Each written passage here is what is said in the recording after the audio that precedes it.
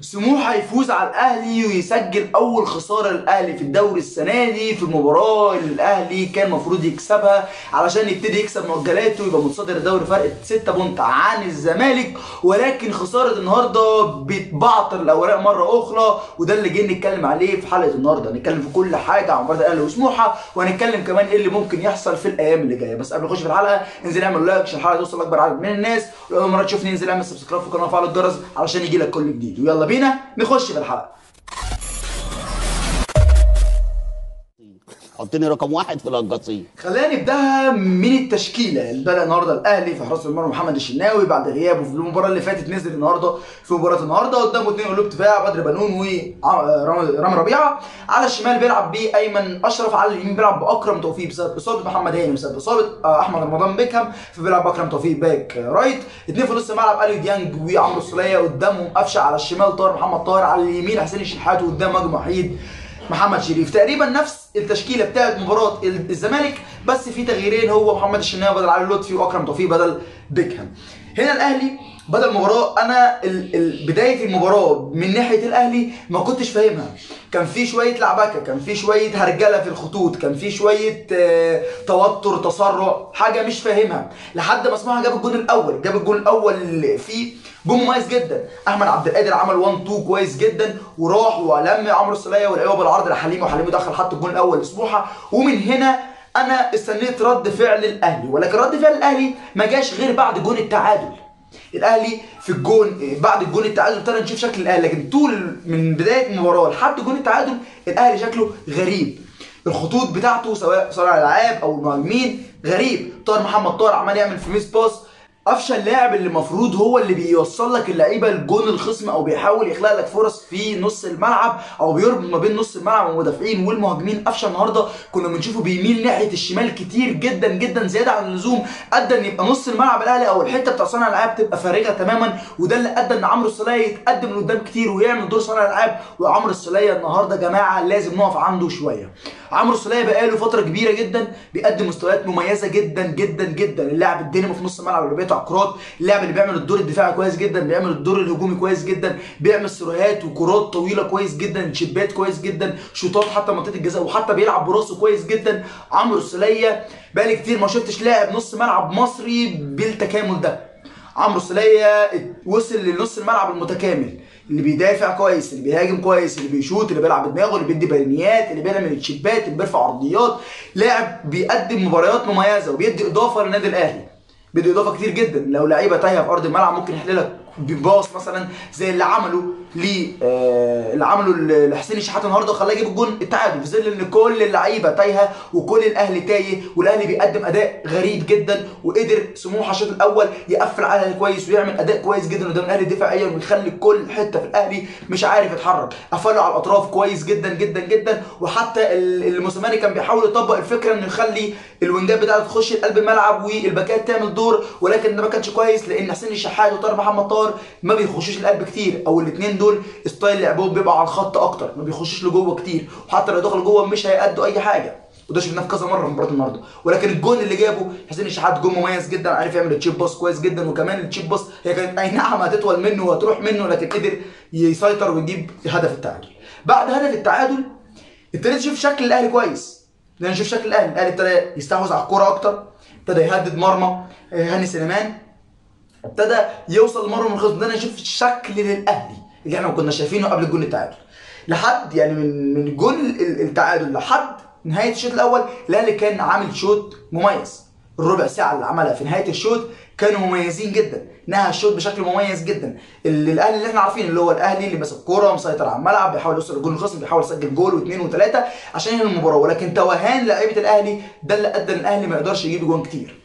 طاهر محمد طاهر تايه تماما بعيد تماما عن فورمته بعيد تماما عن مستواه. ودي حاجة مش فاهمها لاعب محمد طاهر. محمد طاهر كان في المقاولين العربي العرب بيقدم مستويات كبيرة جدا ولكن لما جه الأهلي بقى تايه كتير بيعمل ميس باصات كتير ما بقاش يعمل الحركات اللي بيعملها مع المقاولين بقى مهزوز شوية. في كذا كورة كان ممكن يرقص فيها ويروح يشوط زي ما كان بيعمل في المقاولين ولكن ده ما بنشوفوش مع الأهلي من ساعة ما جه الأهلي. طاهر محمد طاهر عليه علامات استفهام كبيرة جدا جدا جدا وأنا أتوقع المباريات اللي جاية موسيماني هيريحه جنبه على الدكة شوية ويبتدي يدي ليه كهرباء.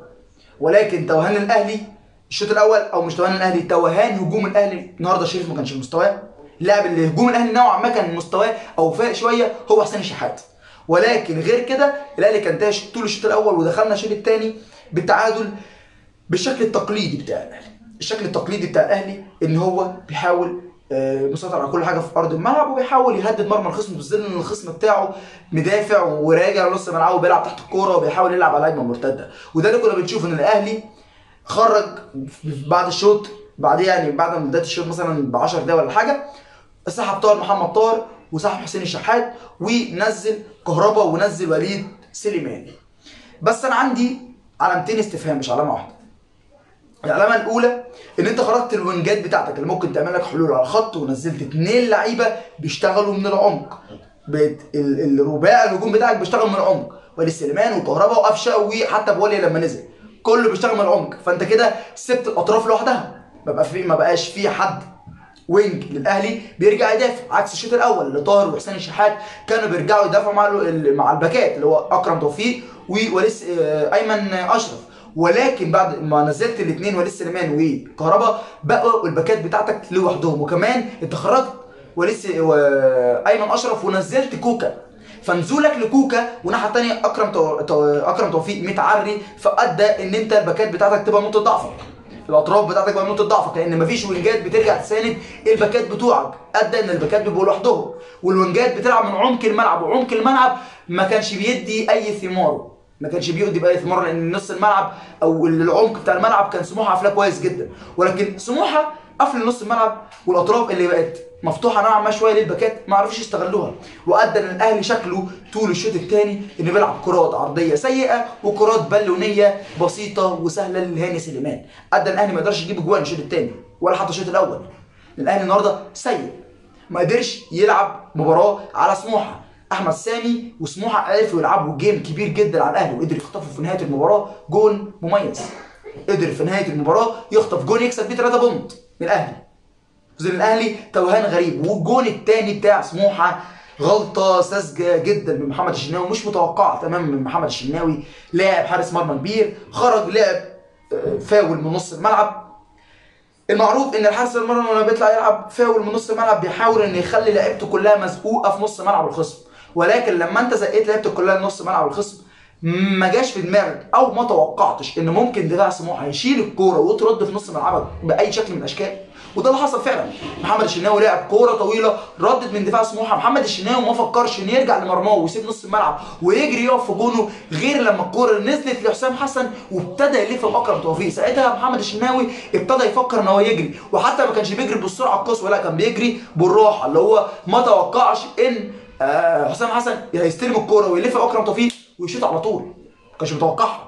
ابتدى يتوقع وابتدى يركز لما الكرة ابتدى في في رجل آه، حسام حسن وفي نص ملعبك ونص ملعبك كله فاضي ومفيش غيرك وانت سايب الجول قدر على طول. حسام حسن حط الكورة هدف تاني لسموحه في آخر دقيقه المباراه في دقيقه 93 في ظل الوقت دون الأهلي هو اللي متعود يسجل فيه جول وده اللي كان الشناوي شايفه وده اللي الشناوي متوقعه اللي هو يلعب كورة طويلة هتبتدي تخبط وترد تخبط وترد لحد ما الأهلي يجيب جول الفوز. ولكن ما كانش متوقع إن الكورة ترد وسموحة هو اللي يجيب جول الفوز.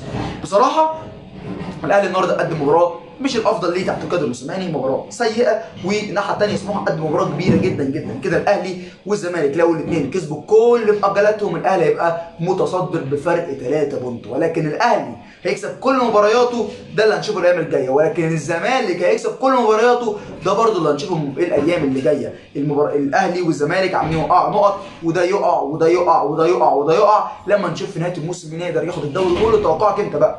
هل الأهلي قادر إنه يتصدر الدوري؟ بفرق 3 بونت بعد ما يكسب كل مؤجلاته ولا ممكن الزمالك يتعثر والأهلي يكسب يبقى متصدر الدوري بفرق أكتر من 3 بونت ولا الأهلي مش يبقى متصدر الدوري أصلا بفرق 3 point ويبقى متعادل في النتائج مع الزمالك أو ممكن كمان يبقى أقل من الزمالك. قول لي توقعك في ال comments الأهلي هيبقى شكله إيه الأيام اللي جاية؟ ولو الحلقة عجبتنا ما تنساش تعمل like أول مرة تشوفني انزل اعمل subscribe في القناه وفعل الجرس عشان يجيلك كل جديد وتابعونا على ال social media بتاعتي فيسبوك وتويتر وإنستجرام هتلاقي في ال description تحت واعمل share على فيسبوك retweet على تويتر وكمان معاك أشوفكم الحلقة الجاية. سلام.